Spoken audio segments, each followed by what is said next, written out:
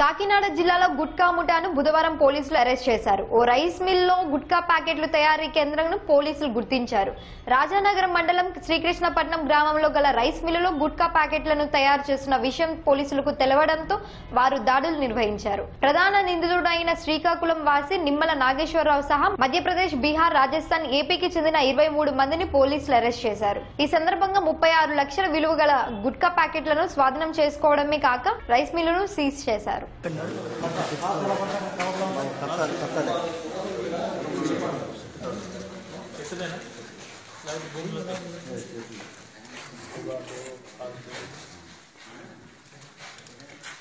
Tobacco కాసు సున్నం ఇంకోటి ఒక నాలుగు ఐదు కిలో ఈ కార్మికులు ఆ, తర్వాత ఆ కుర్రవాళ్ళు స్టూడెంట్స్ ఈ మధ్య మీరు పేపర్లు చూసి ఉంటారు.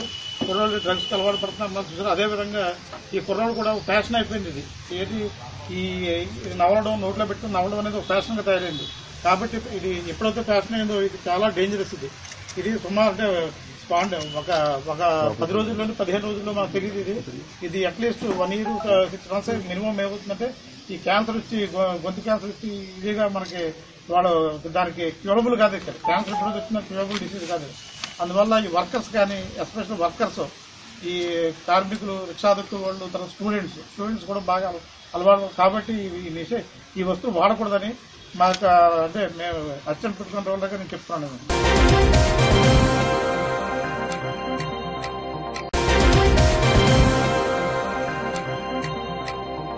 ఇక మీద ప్రతి సోమవారం రాష్ట్ర వ్యాప్తంగా ఉన్న ప్రభుత్వ ఆసుపత్రుల్లో అధికారులు